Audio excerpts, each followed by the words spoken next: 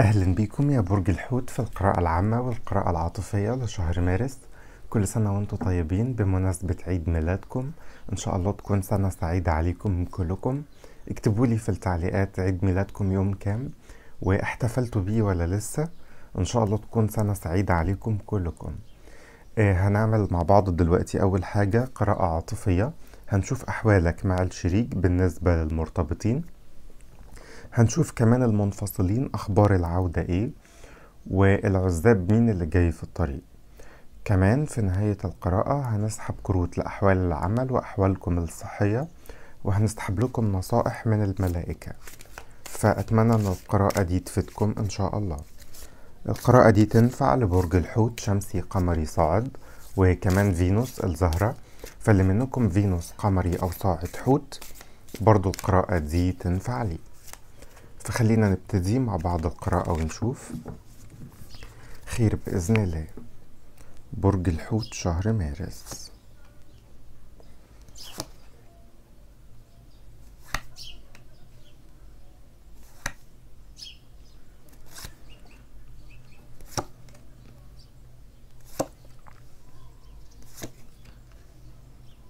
أوكي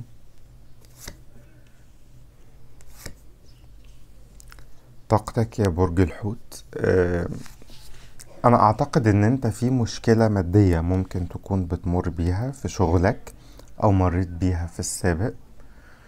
آه، حتى لو ما بتشتغلش أنت حابب إن أنت يكون معاك فلوس وحابب تشعر بالأمان المادي لأنك حاسس إن الفلوس اللي معاك مش كفاية.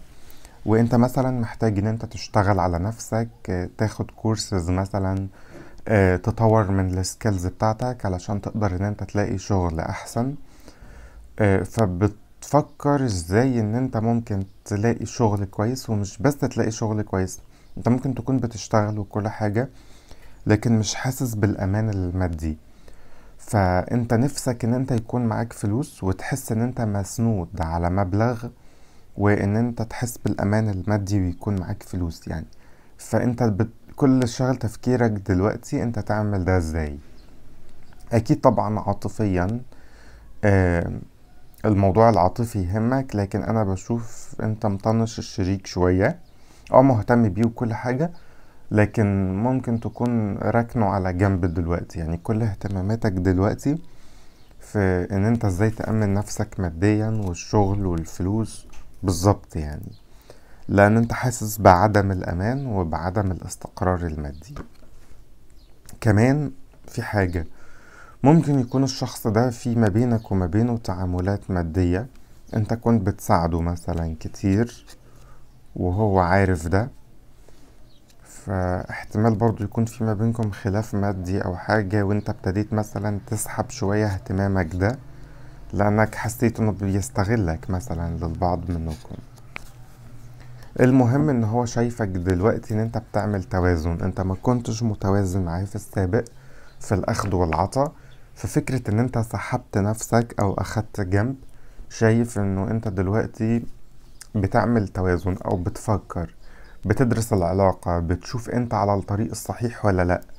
فهو شايفك دلوقتي قاعد لوحدك بتعمل مديتيشن بتعمل توازن بتعيد حساباتك بتشوف أنت ماشي صح ولا غلط. على كل حال استغلك بقى ما استغلكش هو الشخص ده بيحبك وعنده مشاعر تجاهك. ايا كان اللي ما بينكم إيه. كمشاعر هو بيحبك وأنت مهم بالنسبة له وهو مستعد يعمل علشانك أي شيء. دي خليها على جنب كده بغض النظر عن أي شيء. بس وارد يكون حصلت ما بينكم مشكلة ممكن يكون أنت مش فارق معاك قوي آه، ومركز مثلا على فلوسك أكتر. لكن هو فارق معاه جدا يعني وبيفكر فيك طول الليل ومش عاجبه إن العلاقة تمشي بالشكل ده. يجوز لبعضكم هو عنده أكتر من عرض في العلاقات يعني وفي الحياة العاطفية آه، لكن هو لسه ما عملش اختيار. طيب هو ناوي بقى يعمل إيه؟ ما هو أكيد أنت مش هتقبل إن أنت تكون في مقارنة مع آخرين. هو ناوي إنه ينهي علاقاته كلها معاك ومع غيرك وبعد كده يشوف قلبه رايح فين. فأنا بشوف إنه في الفترة القادمة هيحب إن هو ياخد خطوة تجاهك هيحب إن هو يختارك ويمكن هو أقل منك مثلا أو كده في شيء لكن هو هيحاول قدر المستطاع يعمل اللي يقدر عليه علشان يكسب إسعادك وعلشان يكون معاك. فهيبذل كل جهده إنه ياخد العلاقة دي خطوة لقدام معاك يعني. آه بس أنا بشوف برضو إنه محتاج شوية وقت. وأنت نصيحتك إنه الموضوع متوقف عليك. هل أنت هتقبل تستنى وقت كتير ولا لأ؟ دي كل الفكرة. anyway أنت خلال الوقت ده شغال على نفسك شغال على تطوير ذاتك فده شيء كويس برضو يعني.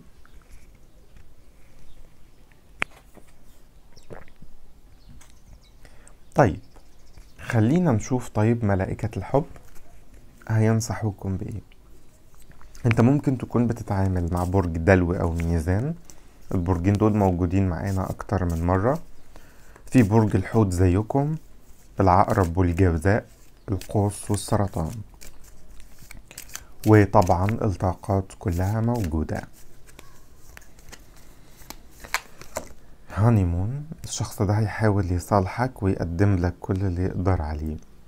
أه بس هو غالبا عرضه مش هيعجبك. يعني انت مثلا خلاص بقى يعني ضيعت كتير وحرقت كتير وعايز زواج على طول. فالشخص ده مثلا هيقول لك لا تعالى نتعرف وبعد سنة مثلا نتخطب بعد سنة كمان نتجوز. فالموضوع مطول. هي دي إمكانياته. بس غالبا إمكانياته دي مش هتناسبك. علشان كده قلنا لك ادرس انت الموقف وشوف هل عرضه ده انت مستعد تستنى ولا لا. الموضوع واقف عليك. لكن على كل حال هو هينوي نية جادة تجاهك يعني. لأنه منجذب لك وأنت كمان منجذب له. بيقولك في ما بينكم طاقة مغناطيسية قوية جدا يعني. أنتم منجذبين لبعض بغض النظر عن أي شيء. بالنسبة للمنفصلين أنا بشوف إن الشخص ده مهتم بيك قوي بيراقبك جدا. لكن هو لابس ماسك وما بيظهرش اهتمامه ده. شغوف جدا إن أنتوا تاخدوا العلاقة بسرعة لقدام تعملوا حاجات كتير كويسة مع بعض لكن هو ما بيقولش ده ما بيعبرش عن ده. مهتم بيك قوي ولكن في السر. آه طيب خلينا نشوف هل هياخد خطوة تجاهك ولا لا.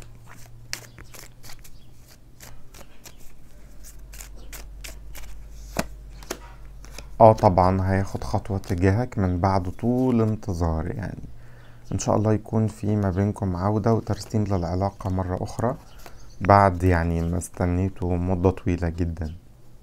بس برضو العودة دي ممكن تاخد لحد آخر الشهر يعني. آه بالنسبة للعزاب في عروض كتير حواليكم يعني أنتوا جذابين وحواليكوا أشخاص كتير وفي عروض كتير حواليكوا. فبرضو القرار يرجع لكم يعني بس أنتوا شكلكم أصلا العزاب ما بتفكروش في الارتباط دلوقتي. طيب بما إن الموضوع العملي شاغلكم أكتر شيء فخلينا نشوف أحوالكم في العمل رايحة لفين. في ناس منكم سابت عمل يعني أو اضطروا إن هما ي... ي... مفيش شغل. آه، فكرة كويسة جدا لو حاولت إن أنت تلاقي أي شغل من خلال الإنترنت يكون عمل جانبي. لحد ما تلاقي شغل كويس. فحاول تعمل كده. حاول تدور على شغل اونلاين تتسند عليه آه، لحد ما تلاقي شغل كويس يعني. فاهمني؟ دي هتكون فكرة كويسة. عفوا. أموركم الصحية متلخبطة شوية. في عندكم آلام في المعدة أرق. آه البعض منكم برضو ممكن يكون في عنده مشاكل في عربيته. المهم إنه آه في آلام تخص المعدة والأرق ما بتناموش كويس ما بتاكلوش كويس. آه اللي منكم برضو بيسوق حاولوا إن أنتوا تسوقوا بحذر لأن أنتوا تركيزكم شوية مش مظبط في الفترة دي بسبب إن أنتوا ما بتناموش وما بتاكلوش كويس. فحاولوا تعملوا control على الجزء ده يعني. طيب خليني أشوف ال angel answer هينصحوكم بإيه؟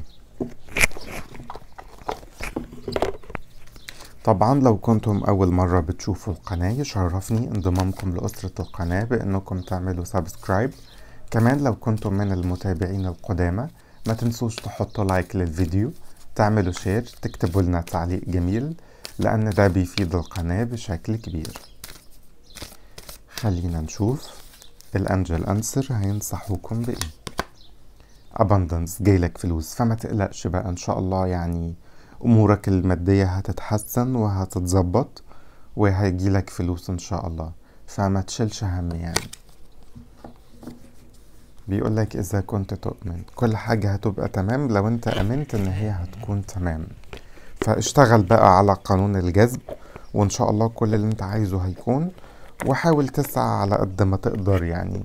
إن شاء الله يجيلك شغل بس حاول لأن ممكن العمل الأونلاين ده يسندك في وقت كتير ما ما تكونش لاقي شغل يعني.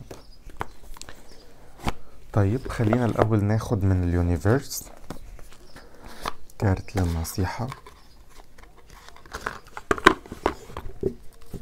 خلينا نشوف.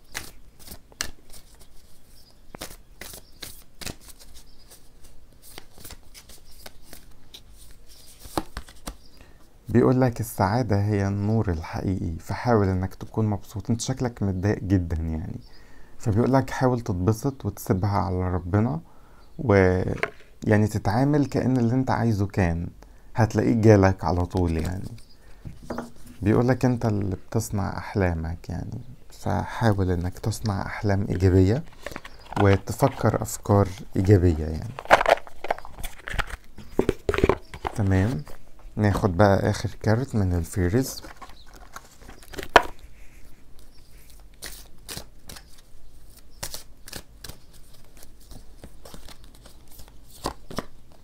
spiritual teacher بيقولك التجربة اللي انت مريت بيها دي علمتك حاجات كتير قوي وزودت من طاقتك الروحانية بشكل كبير قوي. وهو كمان شايفك كده وانت بقيت كده فعلا. العلاقة دي علمتك دروس روحانية كبيرة جدا لدرجة إن الآخرين بقوا يتعلموا هما كمان من التجربة دي.